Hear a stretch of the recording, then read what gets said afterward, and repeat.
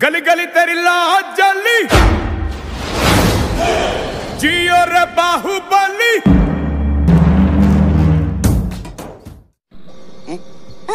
Hello. आइए आइए जी बैठिए लंबी सांस लीजिए क्या महसूस हो रहा है? बड़ी अच्छी खुशबू आवे से आपने सेंट बहुत बढ़िया लगाया से अरे भाई साहब मैं पूछ रहा हूँ कि क्या बीमारी है आपको? डॉक्टर साहब मन न तो बोलने की बीमारी से। है। अच्छा अच्छा कब से है ये बीमारी? क्या कब से से अरे कब से बीमारी है आपको? मन में कौन सी बीमारी है डॉक्टर साहब? अभी तुम्हें तो बोला कि तुम्हें बोलने की बीमारी है। अरे हाँ डॉक्टर साहब सॉरी मैं भूल गयो ठीक है ठीक है कोई बात नहीं तुम्हारा हाथ दिखाओ तो। अरे तुम्हारे हाथ इतने काँप क्यों रहे दारू पीते हो? पीऊ तो सू पर पैक से बीस एम एल का ही बनाना। सुबह सुबह ज़्यादा नहीं पीतो। बेवकूफ़ नहीं बना रहा हूँ। तुमसे पूछ रहा हूँ, दिन की कितनी पी लेता है?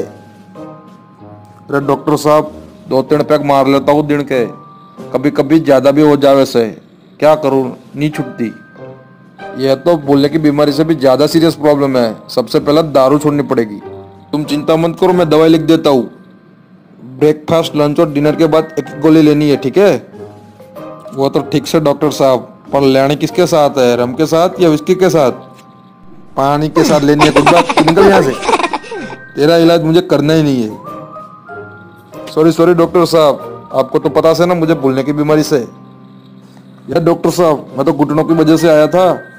घुटने दर्द करे से। वो ज़्यादा वेट की वजह से हो सकता है। कितना वेट है आपका? हमारा वेट तो तिहत्तर किलो से चश्मे के साथ। अच्छा तो चश्मे के बिना कितना है?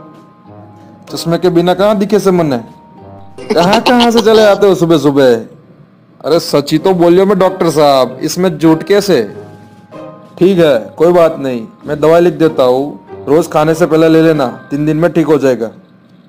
शुक्रिया डॉक्टर साहब, पर मेरे पास पैसे को नहीं लेकिन जे आप मारो इलाज मुफ़्त में कर दोगे तो मैं कभी आपके काम आ सकूँगा।